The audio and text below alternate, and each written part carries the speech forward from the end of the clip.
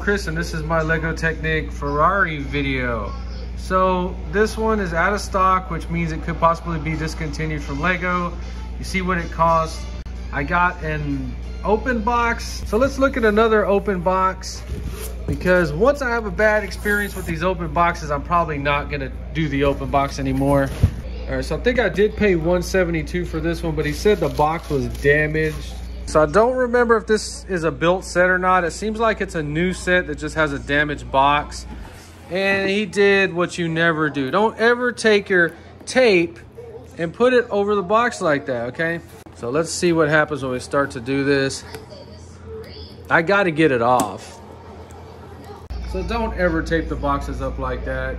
I got it off. It looks better without it, even though I did screw the box up. Moment of truth, is this new or old? Looks new. What the frick? So always cool when you can get a brand new set like this. Freaking awesome. Now this is a freaking binder right here. This has some weight to it. I would like to not even open this, but we have to. And this is like when you buy a new car. So all it was the stickers the instructions. I don't know anything about Ferrari. I guess a little history lesson. So this one is built in five stages. I'll give you an update after each stage. I'm gonna estimate this one taking six or seven hours to build. All right, so stage one,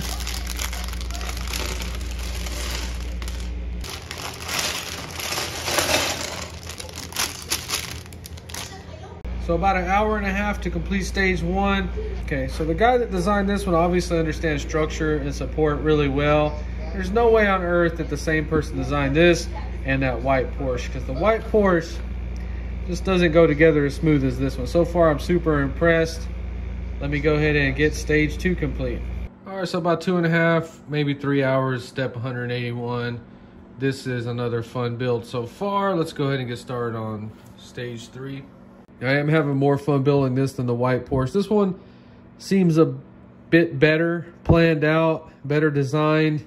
It is 20 more dollars than the white Porsche when they were new, but I thought I was going to hate this one and I'm not. Let me go ahead and finish up step four. So we're step 457 and I actually from start about four hours straight to that step. This build is so much fun. It's a lot better than the white Porsche.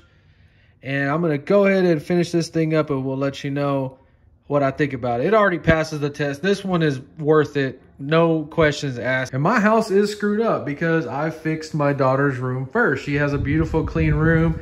We still need to do some painting and fit the trim, but I'm going to do that all at once. And I'm currently using her room as a toy storage. Now, what do I think about the final comparison between these two?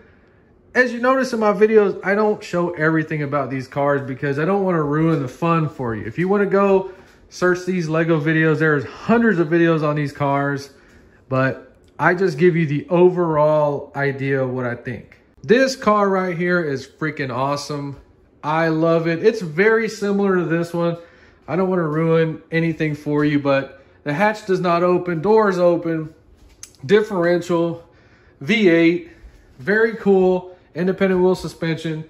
Very similar to this build, but this is a very well put together car. This is a beautiful model. Love it so much. But they're kind of on the same level. This one is a bit cooler, but brand new. This was 149. This was 169. I did pay 172. That's the total shipping and everything for this one. And it is discontinued. As you can see, we got the boxes down there. I don't know if I'm going to keep these or not. I am buying these mainly to hold on to them for about five or six, seven years and then resell them for hopefully double the price. Like I said before, I am keeping that one forever. I am keeping that one forever. But like I said, I'm not trying to start a Lego channel or anything, but I do want to invent some of my own creations. So let's see what I got coming up as far as Legos. So you can clearly see the ones I bought and how much they cost. I got it for, well, it was 172. Now, I'm going to be doing reviews on these fake Legos. We'll talk about the origin stories of what these are, but these two cars right here are the same size as these, but they are fake Legos that come from China. And I want you to look at those prices. And that's why I'm going to review these for you in case you have a kid or even you are thinking about, you know, you see these and you're like, man, I really want to buy those, but those prices, you know, they're a little bit intimidating. That's why we're going to review those two. And I promise you, those two are both the same size, but they're supposed to be a lot lower quality. And that's for the Jeep. Look what I scored here. This is 350 right now at the Lego uh, website. A rich person bought this. He had it like this. It fell on the floor. He didn't want to put it back together, so he listed it. It popped up 200 bucks. I bought it. It's coming. And I want you to look at this. Fake Legos right there. This is why I'm getting back into Legos because I want to build a Rubicon like my Jeep with these fake ones. That's why I'm investing in these fake Legos because I can perfect the model and come up with a kit I can sell on eBay because when I come up with my Lego designs, they are going to be awesome. I don't play around. One of the biggest flaws in Lego cars is the pillar design. Nobody that designs Lego cars really works on cars. And there's also another flaw in this rear pillar or reel, whatever you want to call that quarter panel area of the car. And I've already have ideas on building universal ones to make more realistic cars. You see how they actually utilize that. And that's why I love this car so much because this really is a beautiful freaking car. But like I said, I highly recommend all three of these. I will probably put these back in the boxes and then rebuild them probably next year or something like that. They're super fun to build. They take hours and they're totally awesome. But if you're just getting back into Legos, I promise you, go ahead and buy Dom's Charger. That thing is freaking awesome. You can play with that. You can let a little kid play with that. Nothing wrong with that model at all. I actually like it kind of better than both of these because you can play with it and let a kid play with it. You know, that's awesome. Look at this thing. It's freaking cool. Independent suspension all the way around, rear differential, functioning V8. No little steering thing up here, so that's a strike against it, but doors open the hood or bonnet, whatever doesn't open, no hatch opens up on it, but beautiful model. Very similar build to this one. So we still have that Defender coming. Just want to give you an idea what's going on with the Legos on this channel.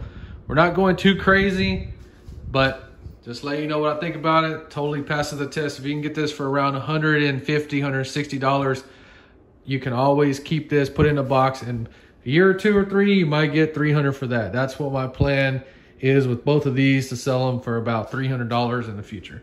Well, if you enjoyed this video, please like and subscribe, and thanks for watching.